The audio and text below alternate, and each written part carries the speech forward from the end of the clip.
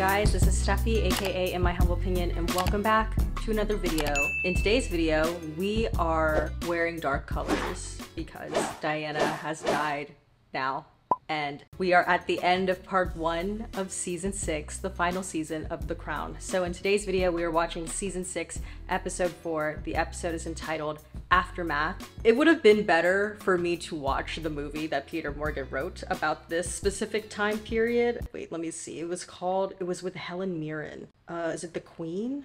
The Queen. So he wrote the screenplay for a film called The Queen. I believe Helen Mirren won the Oscar for her portrayal as Queen Elizabeth, and it was about this specific period um, in the royal family's history, like the aftermath of Diana dying and the Queen. Didn't she like take a while to respond? Something like that. It would have been beneficial for me to watch that movie and then to see how the depiction of this time period is going to compare to the way Peter Morgan covers it in The Crown. I know there's gonna be a question in the comment section being like, you should do a reaction to it. I'm not doing a reaction to it. This is it. The Crown season six is it, and then we're done. But um, yeah, it would have been beneficial for me to watch that. But in any case, we're gonna watch this episode right now, and then um, maybe in my own personal private time, I will see how the movie compares. But let's just get into it.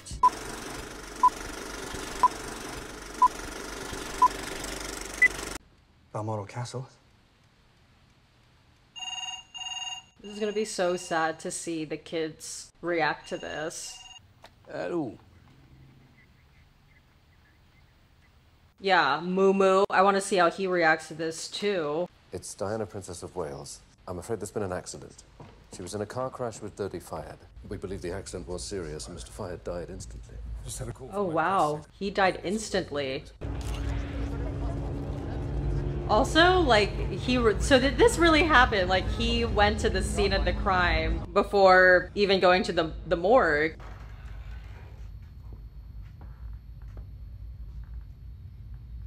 Damn! Oh my gosh, this is gonna be so sad. Uh,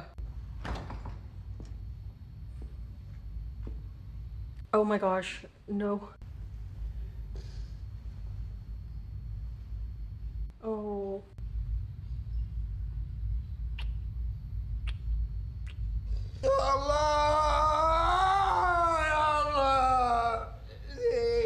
Oh, so sad. Oh my gosh, it's just like, oh gosh, it's just so senseless, and it, this did not need to happen.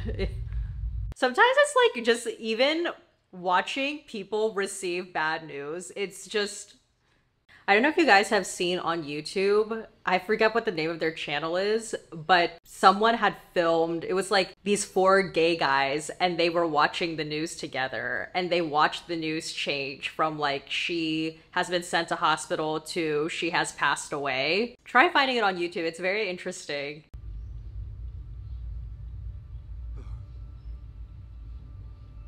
Oh my gosh.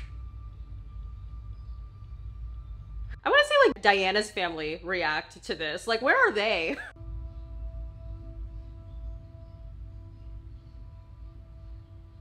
do you think like the royal family also kind of feels guilty too? Why did she change her plans? What was she doing in Paris? What caused the accident? Did the driver survive or did he die too? When are you going to tell the boys? Wanted to let them sleep. How awful. They like go to bed excited to see their mom the next day and then they wake up to find out that their mom has passed away. Like, that's awful. This is going to be enormous. People have no idea. This is going to be the biggest thing that any of us has ever seen. Well, I didn't realize like Charles was like, I mean, I'm sure he was really, really emotionally affected, but to see him really cry and wail. Oh my gosh. Oh, this is so sad. I. Oh my god, this is so sad. Oh no. Morning, darling. Oh my god, how awful. Oh gosh. I'm afraid you're going to have to be very brave. Oh god.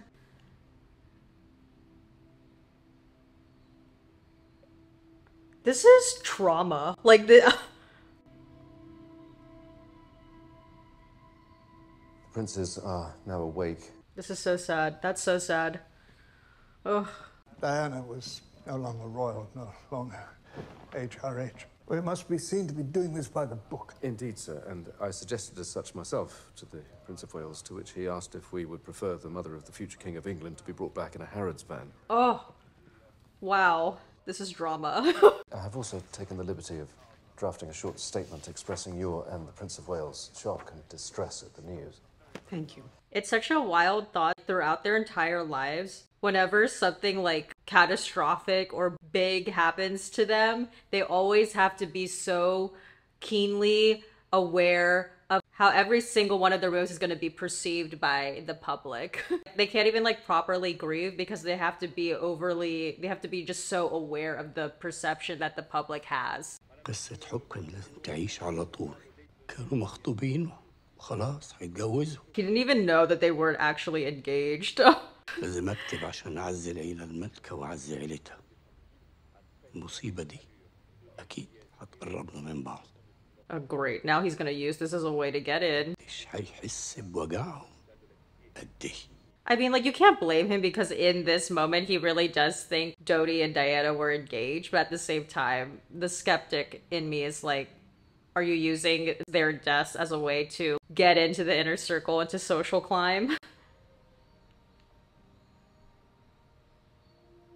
I can't believe, like, these boys had to carry on about their day like normal. It's just, oh. Where is Diana's family? Like, where are her siblings? Where are her parents? I mean, I know this show is centered on the royal family, but.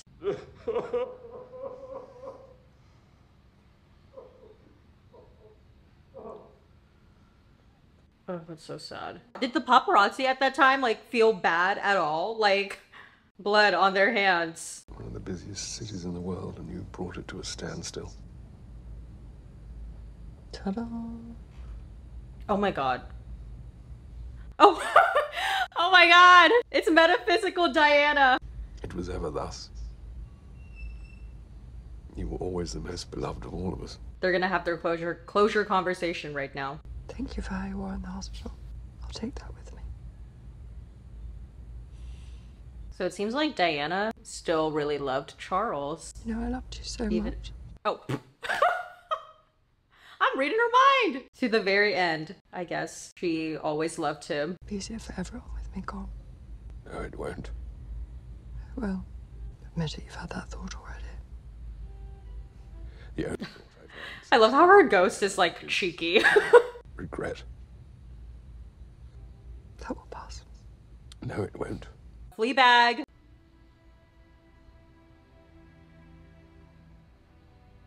Oh, that's so sad. Oh. I wonder if metaphysical Diana will keep popping up in this episode. Like, will we see her with the boys again, or...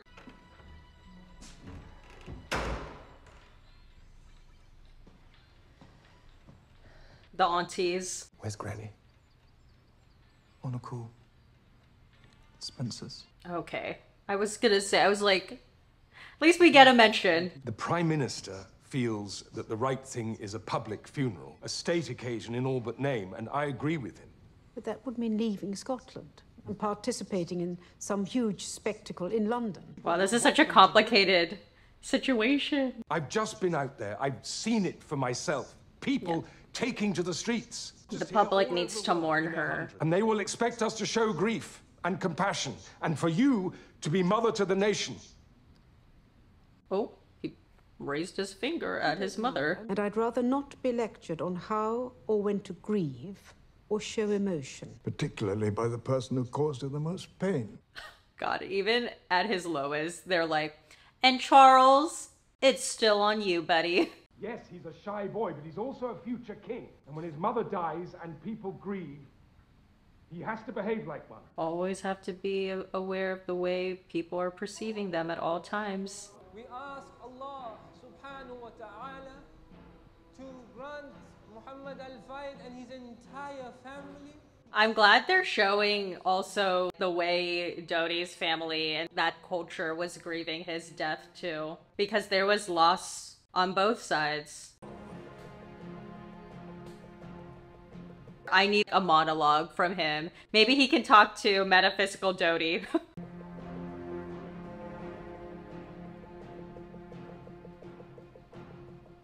His son, like, literally died trying to please his father up to the very end. He didn't even have the courage to actually tell him how he really felt. So much so that at this point, Mumu thinks that Dodi and Diana were engaged to be married.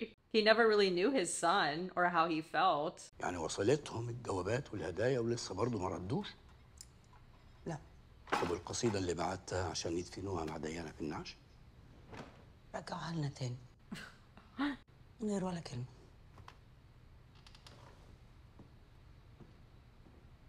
He's a very lonely man that just wants approval too.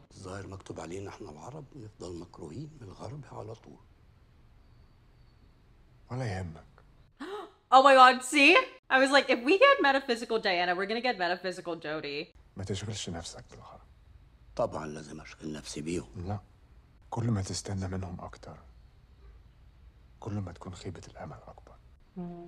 ظلمتك.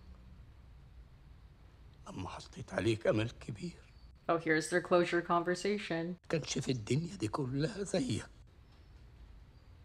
لا يا بابا مش صحيح وافتكرني زي ما كنت عشان الجرح مش بيداوي غير الحقيقة Well, felt sorry, asked for forgiveness. So, Prince William is not in his room. No one can find him. You know, I get why they were able to make an entire movie off of this singular incident because there's so many interesting and complicated dynamics at play. The way everyone is trying to process their grief and also the aspect of the way they need to not necessarily like perform their grief but show to the public that they are grieving and balancing that with being the royal family makes for a very compelling story.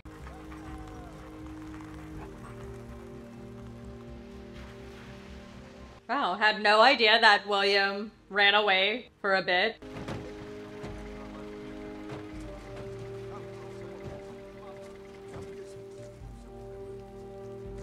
Damn, I like feel really bad for Charles. Like, my gosh, stressful. 14 hours that poor boy was gone. really long time. And if he is behaving so out of character, perhaps Charles is right. About what? That the rest of the country is starting to behave out of character too. He's been urging me to help calm things down. By doing what? Oh, Philip, please. Bereavement helplines are overwhelmed. Sensible adults are weeping openly in the streets. Don't you dare. Sanity will soon prevail. Hold firm. This definitely feels like a repeat of I forget what the episode was called. It was like Aberdeen or something like that. It was like season three, season three. Just like the delayed response. There's the country, like a sick, uncomforted child, and then there's the Queen, hiding away, cold and aloof, unable to mother the nation in precisely the same way as she was unable to mother us. Parental trauma. I was wondering if you'd had a chance to reconsider your position.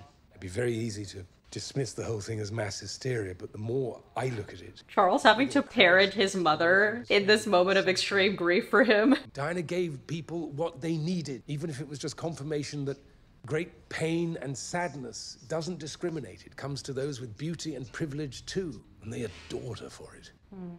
Points were made. Points were made.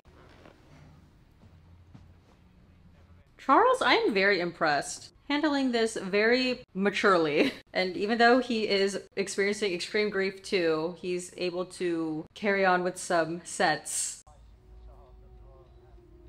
oh my gosh. She's talking to everybody. Trying to show you who they are, what they feel, what they need.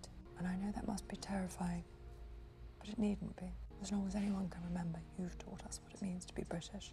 Maybe it's time to show you're ready to learn too. Wow, she's just going around telling everybody what they need to hear. but Elizabeth, just like as a person too, she's not like the showy one of the family. So I like understand her reticence of this idea of like quote unquote performing her grief. We're going to London tomorrow. What? You heard me. She was like, I'm the queen, bitch. We're gonna do what I say. So and concern for those who remain. Oh my god. Oh, so sad. So sad. This week at Balmoral, we have all been trying to help William and Harry come to terms with the devastating loss that they and the rest Oh of my gosh. Oh, this is so sad. Ugh. Our thoughts are also with Diana's family and the families of those who died with her, as they seek to heal their sorrow and then to face Well, the there you go, Mumu. That's what you wanted. So, approval to be aligned with the royal family, and now you're like tied to tragedy forever.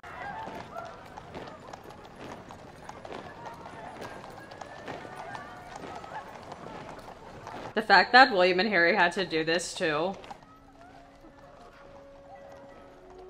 Oh, I hope that tomorrow this is so sad. May those who died rest in peace, and may we, each and every one of us, thank God for someone who made many, many people happy. pretty good speech, good words, nice sentiment, showed enough emotion, but also steady. Oh my god, is she gonna be there again?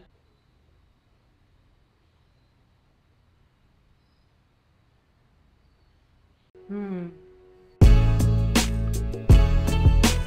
Alright, and some post-show thoughts.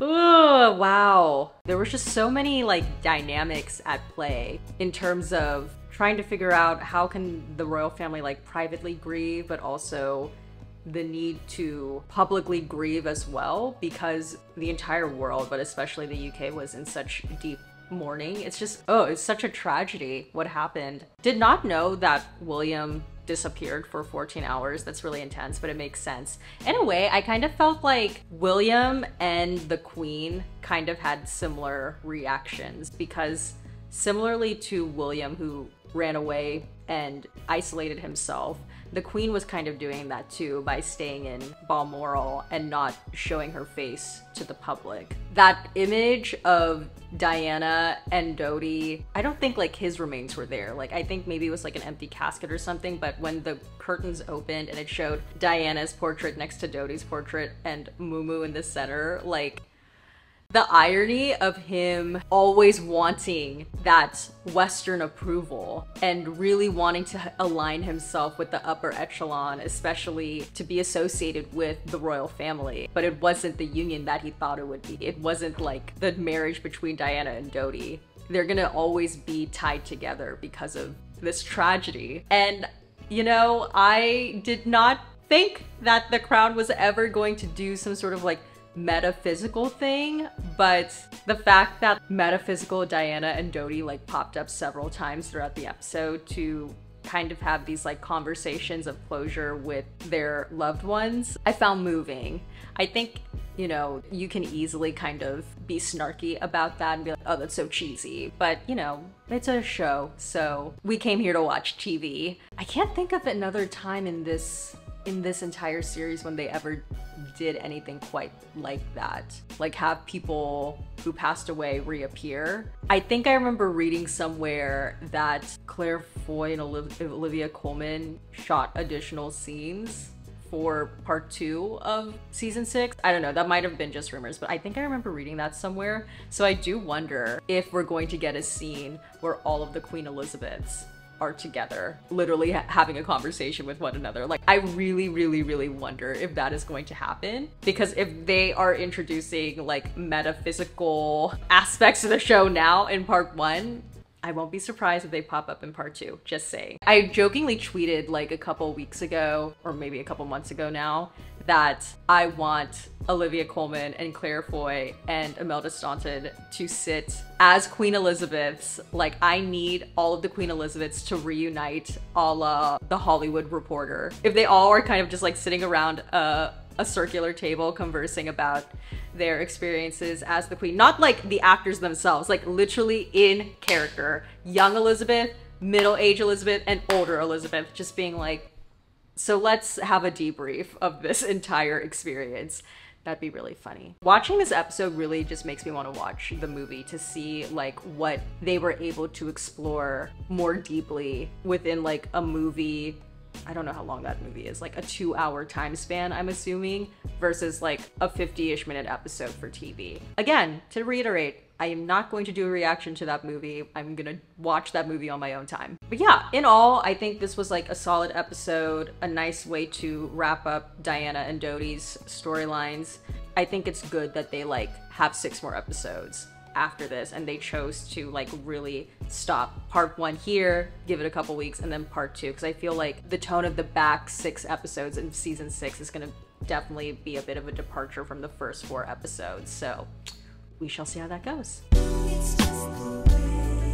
All right well my question for you guys is i want to know like if you were alive during diana's death i want to know what your memories of that time was like. I think when she passed away, I was mm, four years old, so I don't really have any memory of it. But my parents did tell me that we were at a family friend's house and I was playing with my cousins, and then one of them, they were like, I don't know, like five or six years old, one of them like ran in to the house to tell all of the adults in the house that Diana had passed away. So that's really my memory of it. I don't, I was so young when she passed away. So if you were, um, you know, if you have any memories of what that experience and time was like, definitely leave it in the comment section below because I just think it'd be like interesting to share our experiences. And also, like I said during the reaction portion, I don't know what the name of the YouTube video is. If I can find it, I'll put a link to it in the pinned comment for this video,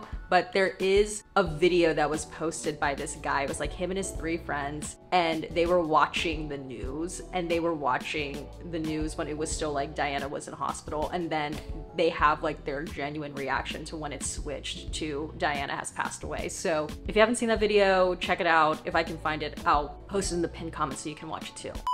All right, so before this video ends, I wanted to post my reaction to the teaser for part two, so I'm going to play that now.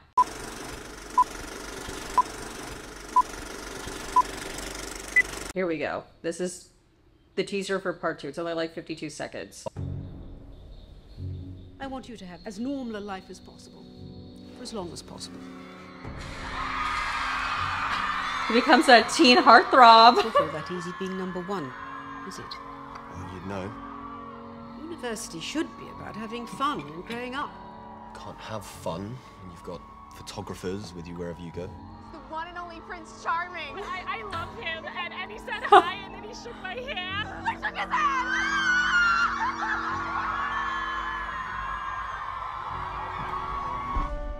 That's so sad, like he doesn't have his mom to help guide him like through this too.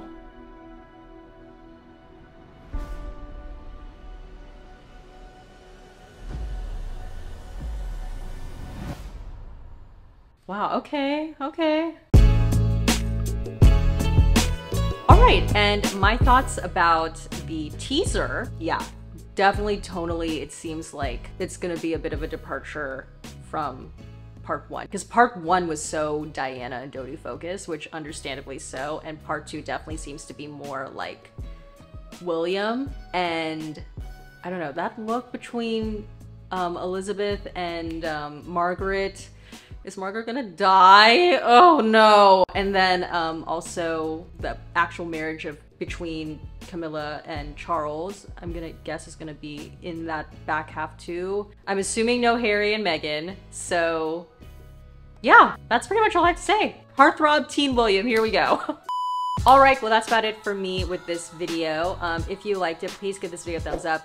Don't forget to hit the subscribe button and please turn on the notification bell so you know when a new video from me comes out. And comment down below your thoughts on this episode and also part one of season six of The Crown. I'm gonna take this moment to plug my podcast that I co-host with my friend Angie. It's a podcast called Diva Dailies where we deconstruct divas on film, TV, and in music. We've talked about a bunch of different divas. We've done a bunch of episodes. We've passed a hundred. So if you guys are interested in listening to that and you're looking for new podcasts to listen to, check out Diva Dailies. But yeah, that's pretty much it. Obviously going to be back to finish and wrap up part two of The Crown season six when that comes out. Give me a couple of days as soon as, you know, the episodes are released uh, so I can, you know, watch it and then edit these videos and they should be up within a couple of days when that back half drops. But then after that, you guys, the Crown season six is a wrap on reactions on this channel. So, you know, if you've enjoyed watching reaction videos from me over the past couple of years, I really, really do appreciate your support. And I thank you for watching this channel and these videos. But I definitely feel like I've been wanting to make other kinds of content for quite some time, and I'm finally gonna be able to do that. So, yeah, if that's something you're interested in watching, stay tuned for what's to come. But if not, you're only here for reaction videos, that's cool too. Just thanks for, you know, supporting me whenever you did. But yeah, that's pretty much it. As always, everything I said was just my own personal thoughts and all my humble opinion. See you for part two when that comes out of The Crown Season 6. And uh, yeah, see you then. Bye.